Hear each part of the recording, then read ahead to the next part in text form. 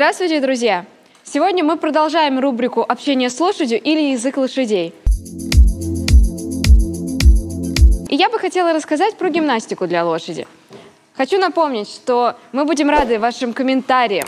Ставьте лайки, дизлайки, пишите, что нравится, что не нравится. Делайте репосты наших видео, и мы постараемся снимать для вас больше интересных новых выпусков. Ну и, конечно же, задавайте ваши вопросы. Я постараюсь на все ответить. Гимнастика для лошади так же, как для человека зарядка действительно полезна. А, пожалуй, ее лучше делать все-таки после тренировки или за какое-то время до. Она помогает дополнительно расслабиться и придать какую-то стимуляцию мышцам. Поэтому сейчас я покажу ряд упражнений, которые сама использую на своих лошадях и которые действительно э, помогают в том числе наладить отношения с вашей лошадкой. Для упражнений, которые я покажу, нужно, чтобы лошадь была на свободе, то есть не нужно ставить ее на развязке. И вообще в идеале это лучше делать или в деннике, или на резиновом полу, чтобы лошадь не подскользнулась в случае чего. Я сегодня покажу здесь, просто для того, чтобы э, было удобнее да, вам посмотреть, каким образом выполняются упражнения. Для того, чтобы сделать данное упражнение, я использую вкусняшки. Лучше всего использовать морковку, она удобная для некоторых упражнений. Да? Вы сможете держать морковку с одного края, а лошадь будет тянуться за другим, и таким образом не причинит вам никакого вреда, и вам будет проще попросить ее что-то сделать. Для начала поработаем с шеей лошади. Я попрошу ее сделать подобие сбора, потянуться да, к груди, а потом расслабиться. Это все делается буквально несколько счетов. Вот так, да, мы видим Стоим, стоим. Вот поэтому лучше, конечно, чтобы сзади у лошади было небольшое ограничение пространства, например, деник, да, это был. Тогда она не будет так сильно сдвигаться. Но даже в проходе все равно можно делать это упражнение. Вот так, отлично. То есть, допустим, раз, стоп.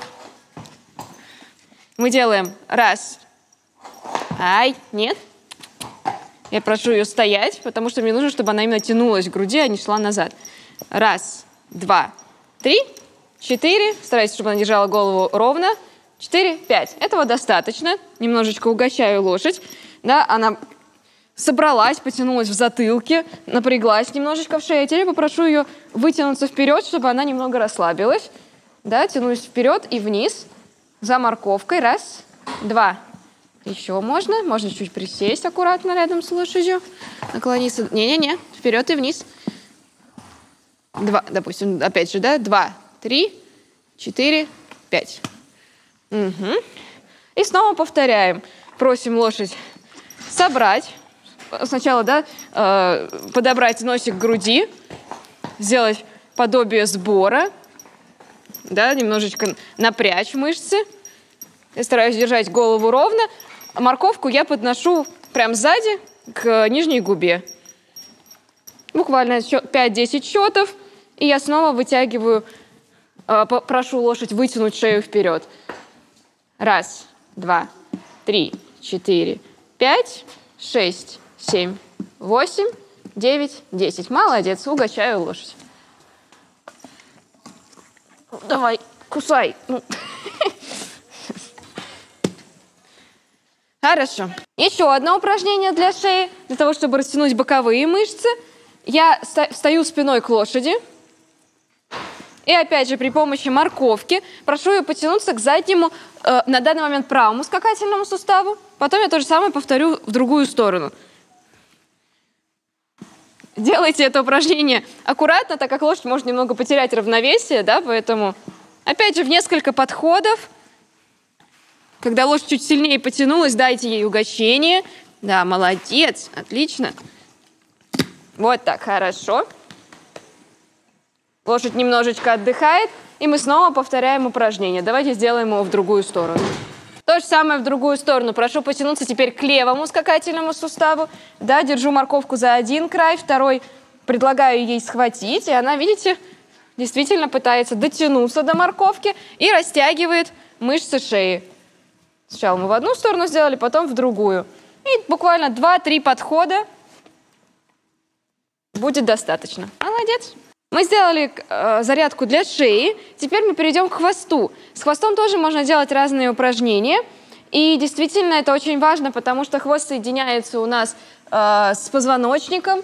И когда мы работаем с хвостом, лошадь ощущает эффект даже в шее.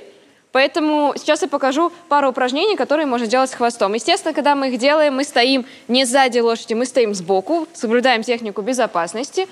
Да, если ваша лошадь позволяет, сначала подходим, гладим ее, говорим «Привет, я тут», да, все, все в порядке. Первый раз лошадь может зажаться, поэтому а, старайтесь все делать плавно, спокойно. Мы берем хвост под жесткую часть, да, ближе к репице, снизу. И первое упражнение, я буду поднимать хвост наверх и опускать вниз. Так, допустим, там для начала 5 раз делайте, потом 10. И э, делайте очень плавно, очень мягко. Смотрите внимательно за реакцией лошади. Если что-то пойдет не так, сразу отходите, успокаивайте лошадь. Да, пробуйте это упражнение постепенно, чтобы не напугать лошадь, не причинить дискомфорт. Итак, я попробую с ней. Кстати, я тоже делаю это упражнение впервые, поэтому я пробую поднять хвост наверх. Она позволяет это сделать.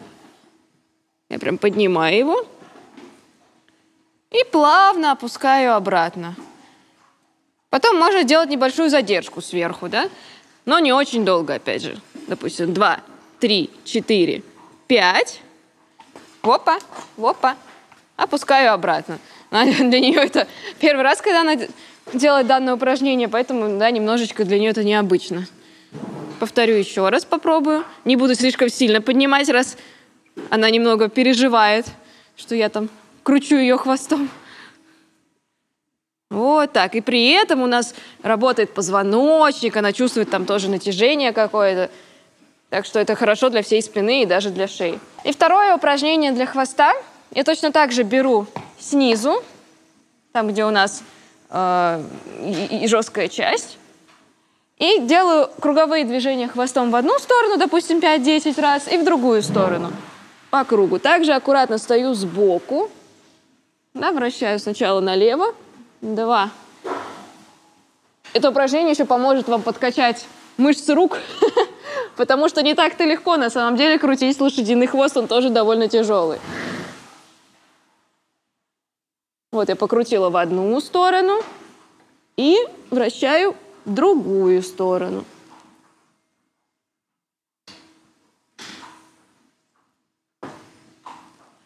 Вот так, молодец. Можно похвалить лошадь, погладить. И перейдем к упражнениям для спины. Для того, чтобы лошадка потянулась у нас в спине, в принципе, все предыдущие упражнения, они тоже в том числе задействовали спину. Но чтобы еще больше да, э, растянуть мышцы именно спины, мы можем сделать, попросить лошадь сделать поклон. Опять же, это, правда, лучше делать на резине или где-то, где мягкий пол – например, в дневнике. Но я аккуратно попробую сделать это здесь. Что я делаю? Беру, опять же, э, за краешек морковки одной рукой и приманиваю лошадку вниз. Я прошу ее опустить голову. Потом я опускаюсь рядом с ней. Я сама оказываюсь сбоку. И дальше я увожу руку между передних ног, а ее прошу, молодец, вот так – Ай, браво, молодец, отлично. То есть я убрала руку между передних ног и попросила ее последовать за моей рукой и опустить голову, да, прям просунуть ее вниз под себя. И получается, она круглилась в спине, она еще шею при этом подтянула, да, и вот это было такое хорошее, очень гимнастическое упражнение, да, моя хорошая, да которое, опять же, мы не делаем очень долго, следим за тем, чтобы лошадь не потеряла равновесие, все очень плавно, аккуратно. Повторим упражнение еще разочек. Так. Блюш. Да, я приманиваю морковкой. Прошу опустить ее головку вниз и убрать ее между передних ног. И вот она круг... Опа! Ага, чуть сейчас она идет равновесие. Я повторю еще раз. То, о чем я и говорила. Попробуем еще разочек. Она стала, надеюсь, поустойчивее. Ай, браво! Ой, хорошо, молодец. Стараемся по возможности, конечно, держать голову по одной прямой, с позвоночником с шеей, не уводить сильно вправо-влево, чтобы, опять же, и равновесие сохранилось, и равномерно растягивались мышцы спины. Мы поработали со спиной, с шеей, а, и лошадь уже достаточно размялась, и мы можем сделать еще упражнение для ног.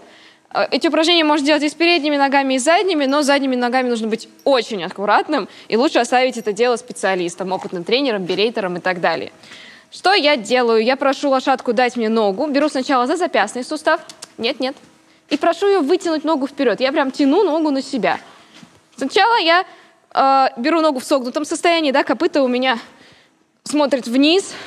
Нет, нет, мне надо что-то сюда тянуло. Вот, да, Чуть-чуть подержала, плавно отпустила. Перейду ко второй ноге. Сделаю вторую ногу, потом вернусь еще раз к той ноге. Да? Лучше все-таки не увлекаться, а делать подходами поочередно. Точно так же, вот, прошу дать мне ногу, тяну ее немножечко на себя и расслабляю. После того, как я брала согнутую ногу, можно также э, вытягивать прямую ногу. Беру ее, также стою спереди, беру за запястный сустав, затем беру запутовый сустав и выпрямляю ногу, тяну на себя. Немножечко держу, сколько позволяет лошадь, 5, 10, 15 секунд. Да? Прям вот так вот подтягиваю немножко на себя и аккуратно отпускаю. Не резко бросаю, чтобы она у, прям упала на землю нога. Нет, я плавно отпускаю, чтобы лошадь взяла и поставила спокойно ногу. Давайте сделаем то же самое с левой ногой. Прошу дать мне ногу. Беру за запястный сустав, потом запутывай. И вытягиваю. Вот так хорошо, да. Сейчас лошадь достаточно спокойно стоит, не пытается забрать у меня ногу, поэтому я продолжаю делать упражнения. Если лошадь начинает беспокоиться, вытирать ногу, лучше остановитесь. Опа! Немножечко увлеклась и потеряла равновесие. Да? Нужно быть аккуратным. Если вы чувствуете, что лошадь теряет равновесие, беспокоится, выдирает ногу, Сделайте паузу и просто потом повторите еще раз упражнение. Да, может быть, чуть просто меньше по времени, например, его делайте. Вот сейчас она стоит явно в раскорячку, поэтому поставьте лошадь так, чтобы она стояла удобно, а после этого переходите к упражнению. Попробуем еще разочек. Снова вытягиваю ногу. Чуть-чуть держу, 5 секундочек и отпускаю. Молодец. Отлично. Такие упражнения вы можете делать с каждой лошадкой, если только да, она все-таки достаточно спокойная по характеру, и вы достаточно давно ее знаете. Пробуйте. Если что-то не получается, просто пробуйте постепенно, по чуть-чуть. Лошадь к этому привыкнет, и на самом деле они с удовольствием работают, тем более, когда им предлагают вкусняшки, морковку и так далее. Я желаю вам успехов. Рассказывайте, как ваши результаты, получается, не получается. Задавайте ваши вопросы. Ну и пока-пока.